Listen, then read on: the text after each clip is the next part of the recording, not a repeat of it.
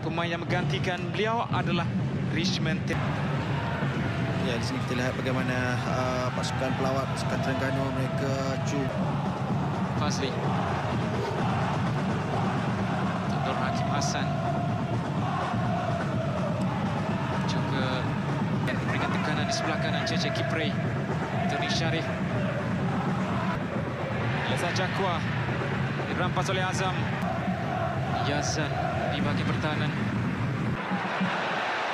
Azam Azmi Murad. Hakim Hassan. Prestasi terbaik. Ya, kita lihat bagaimana asakan yang mungkin ada tarikan yang dilakukan Ceki Pres sebentar tadi ke atas Syarul Nazim. dan Azam Azmi Murad. Dan Jakwa lihat ke sebelah kiri untuk Nur Hakim Hassan. Azam Azmi sudah pun mengawal akan Papi Diakite tu belakang kembali untuk Azam. Tenang saja pemain ini.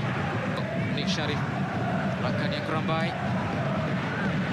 Itu yang diinginkan di pertahanan Selangor baik dari Nur Hakim Hassan meneruskan larian pantas cuba untuk menewaskan Azam Azmi Murad. Sekali lagi. Suhaimi tangkap payung kurang kemas and on menyelamatkan bola.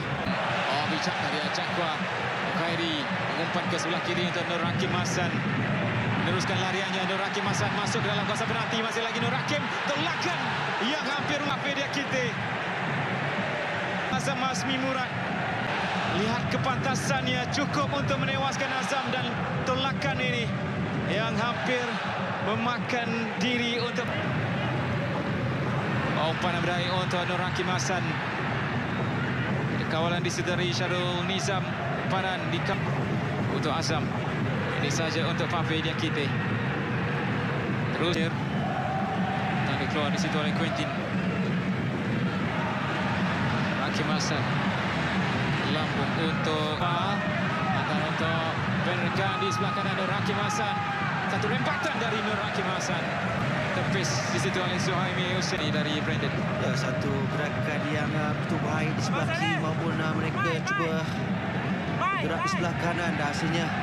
Dan itu akan membantunya untuk bertahan dengan lebih baik.